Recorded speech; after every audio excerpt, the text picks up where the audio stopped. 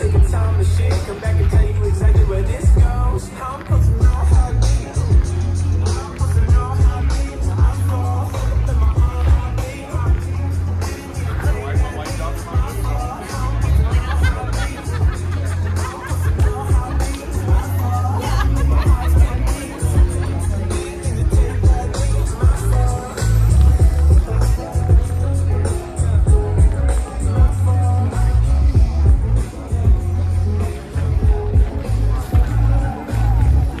Help it, man. I did it for 10 years. Every time I'm at a wedding, I was like, I gotta film.